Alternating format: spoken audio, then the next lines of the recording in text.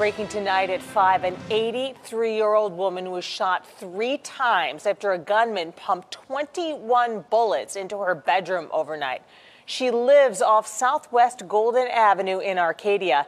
NBC2's Megan Bragg spoke to the family who says children were inside the home at the time it happened. And Kelly, the family tells me they were getting ready for bed when they heard those gunshots. Those gunshots going into the back window of this house hitting an 83 year old in both of her legs three times.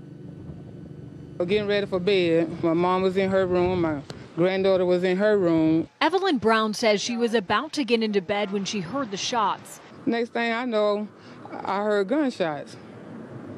And you know, I was then when the gunshot, it, they were so loud, my ear was so numb. It seemed like when the gunshot stopped, I couldn't hear. Confused about where they were coming from, Evelyn called out the names of her two children and her mom. Everybody answered, and I had to call my mom's name twice. And my mom said, Yeah, I think somebody out there shooting, and my leg numb. Evelyn's mom, 83 year old Elmer Wilson, was shot three times in both legs, the bullets coming straight through her bedroom window. I didn't know if it was outside or am I, am I going to get out, out the bed and see something I don't want to see?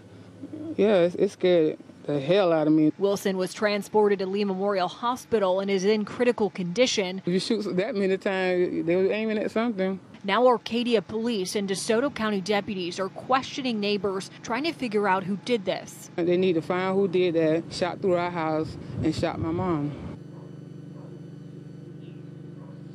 Now, the sheriff's office does need your help in finding the suspect or the suspects. If you do have any information, you're asked to call the DeSoto County deputies. Reporting live in Arcadia, Megan Bragg, NBC2.